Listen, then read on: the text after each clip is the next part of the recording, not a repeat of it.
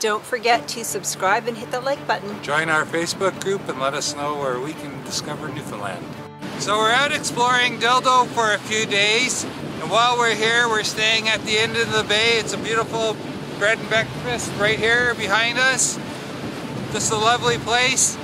Uh, we're gonna go explore the town now and shoot some video around town so you can see the beautiful town of Dildo. You can see how close Inn by the Bay is to the ocean. The front part there is, uh, with all the windows, is the dining room. Just down the road there, if you want to go for a pint, is the Dildo Brewery and the ocean is right there.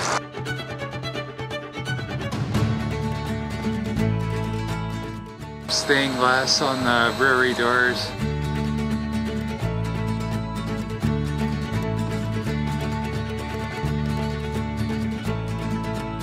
Here's Dildo Cove. It's really blowing today. Beautiful in here though.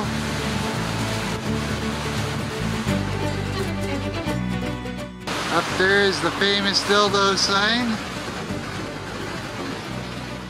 So right here, close to the ocean, it's a nice playground for the kids. It's actually a lot of stuff there. It's pretty big. I'll get a closer view. Yeah, it's a great little park here. Lots for the kids to play on. Actually, I was thinking it looks like a lot of fun. Maybe we should go have a little bit of a play on there. Okay, let's go.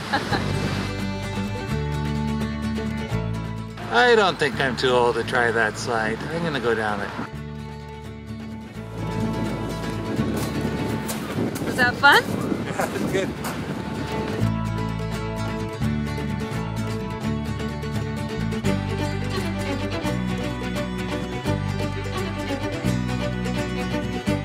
Right here beside the park, there's a little walkway around the pond, a gazebo. Oh, got a big one. Absolutely beautiful scenery down here. Our first night in Dildo and we're trying out Yes by Indian Kitchen of Dildo, Indian cuisine.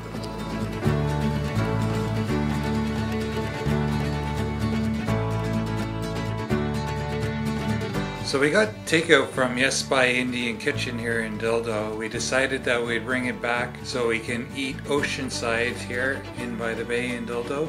We ordered chicken curry and a lamb dish. We've got samosa and some flatbread and it looks delicious. Can't wait to get started. So what did you think of Yes by Indian Kitchen? Oh, it was so good and I'm so full. Really flavorful, Yeah, it delicious. Was, it was very flavorful. If you want to go to Anderson's Cove for a little hike, it's just off the right past the Blue House. Good morning from Dildo, Newfoundland. We're out exploring the Dildo area for a couple of days while we're here. Today we're out, we're gonna hike the Anderson Cove Trail, which we believe used to be an old road system going between Dildo and New Harbor that we read that the Dildo Brewing Company fixed up to be a trail. Yeah, and it looks like it's going to be a quite a little hike. We're going up the road. You can see in the background. Um, there should be a beach at the end, so let's get going. Just to clarify, we're not going up the hill. We're actually going down this road, so let's continue on. Not too far down the road and we've reached the beach. Not a bad place to spend some time. If you're in Dildo, come down and you can do a little beach combing, maybe dip your feet into the water.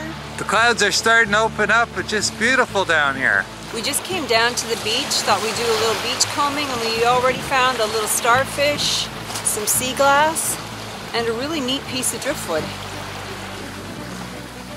That coastline over there is just fantastic. That cliff face looks awesome. These little guys are squawky this morning.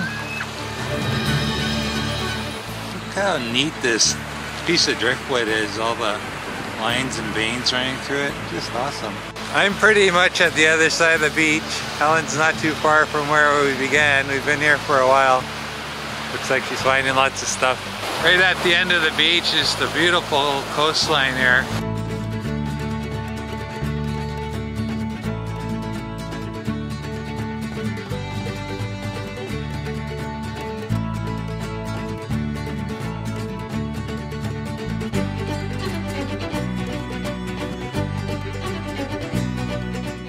While combing the beach, I found some more sea glass, some pottery, little driftwood, and this bone is so smooth.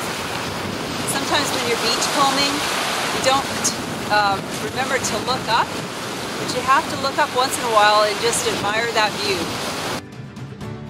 So funny, I was looking up to hear the bird, you can hear it chirping, and spotted this crab shell, and it's quite large. the hike in wasn't a very long one. Um, it was approximately three kilometers. That's including combing the beach. That's in and out. But it was a beautiful day. The sun came out. Yeah, if you wanted to make this hike a little longer, you could actually walk right in from Dildo Cove on the main road and probably add about two kilometers round trip onto the hike if you wanted to spend some more time.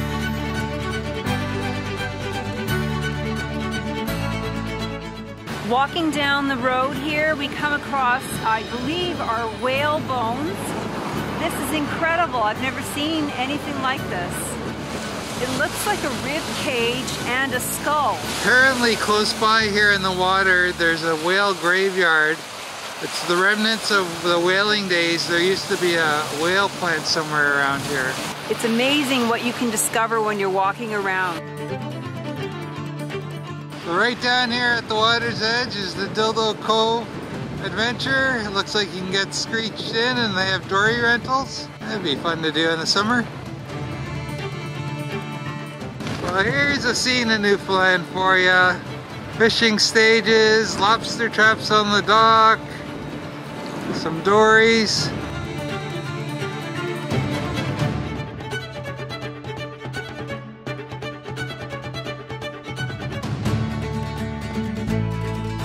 Grill's not open yet, it's off season, but looks like it has a nice patio to sit out over the harbor and have a meal. This is the back side of the grill, you can see the patio up there and it's like right here on the harbor. Down here in the harbor, there's some nice colorful fishing stages. So we were told this is a little mom and pop shop. If you're ever in Dildo, come and take a look.